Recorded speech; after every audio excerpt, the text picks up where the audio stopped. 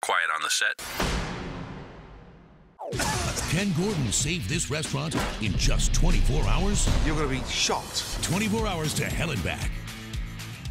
After tackling just about every other scenario that is possible in a restaurant and turning that into television, now you're going to come up with a n- brand new program Yes. that saves, rescues a restaurant in trouble, but you do it in 24 20 hours. 24 hours. Um, you'll be amazed what any great chef in the country can do in 24 hours.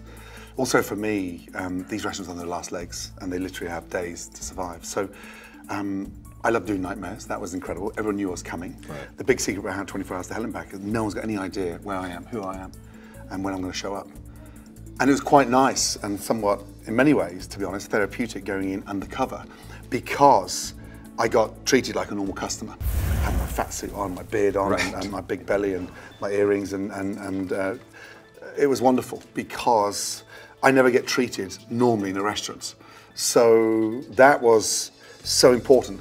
But the collateral damage prior to me getting there was um, sought after through a CCTV monitoring system that we rigged the restaurant up first. So I had the damage. I didn't need to go sniffing. I knew where all the problems were, and I could get straight to the problem uh, instantly.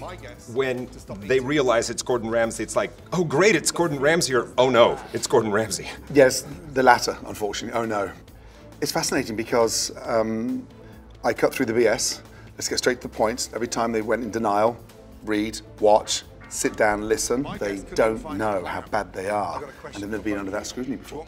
For me, it was seeing the problems firsthand, confirming how bad they were, and then getting straight to the issues immediately.